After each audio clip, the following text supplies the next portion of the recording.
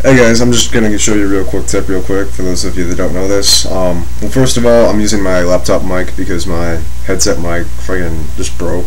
I have no idea why. And I just bought it like a month ago. So yeah.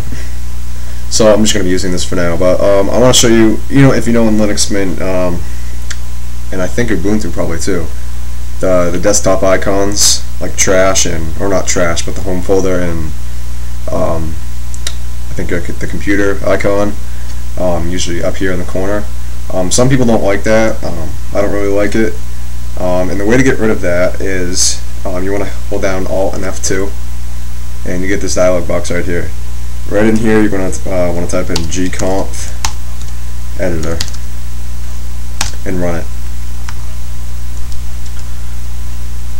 And then you're just going to go to apps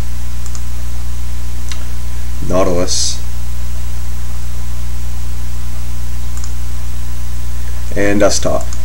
And in here you'll see a bunch of different options. You can have computer, the home icon, network, trash, volumes.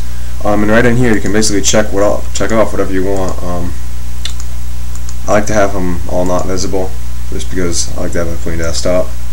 Um, so yeah, that is how you do that and uh, yeah.